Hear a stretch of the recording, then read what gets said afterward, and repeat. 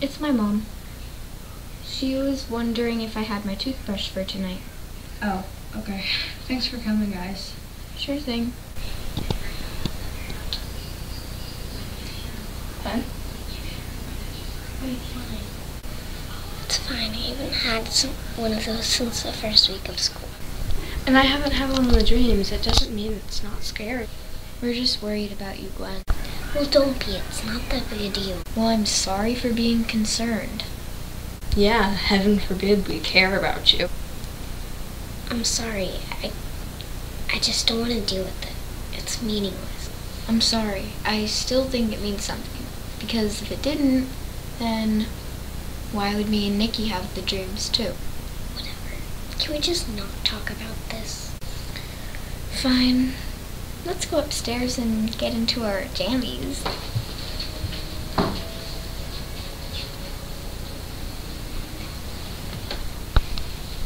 Yikes. What are you wearing? My footy pajamas. Why? Because it's cozy and warm and it feels like a hug. And it looks like a three-year-old. You are never too old for comfort.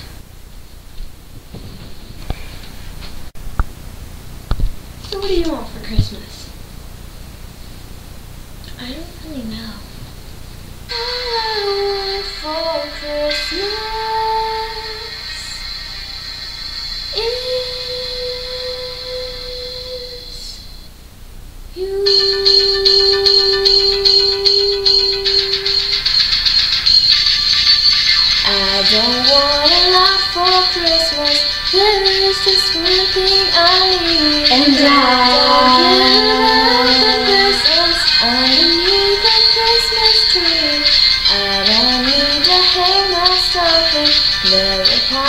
fireplace. Santa Claus will make me happy. It's all on Christmas Day. I just want you for my own, more than you could ever know.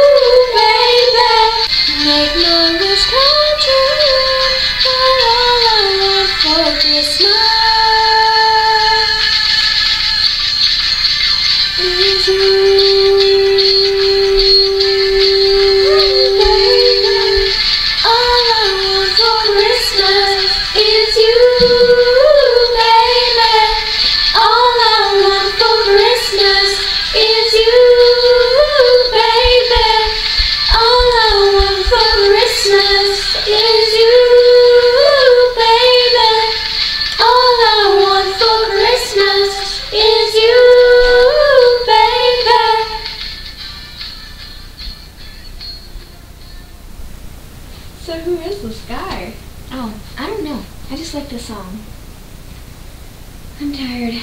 I'm gonna go to bed now. Okay.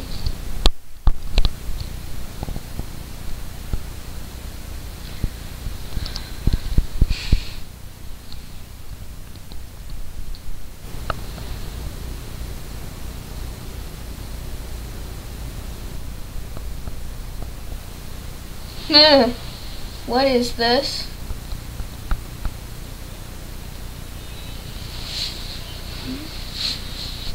Gwen what are those?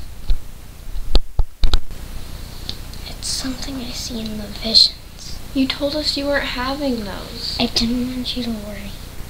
Really, because it seems like he made it worse now. How long have you been having these and not telling us? I told you they weren't happening, but they've been occurring a lot lately.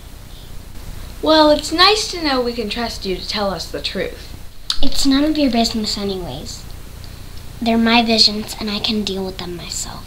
Fine. Next time you need help, don't come asking us.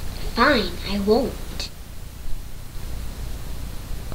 Cause if you're not laughing,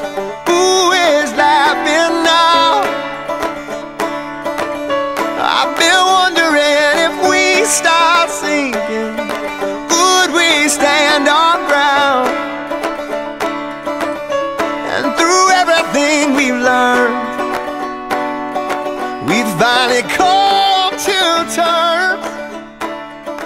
We are the outsiders.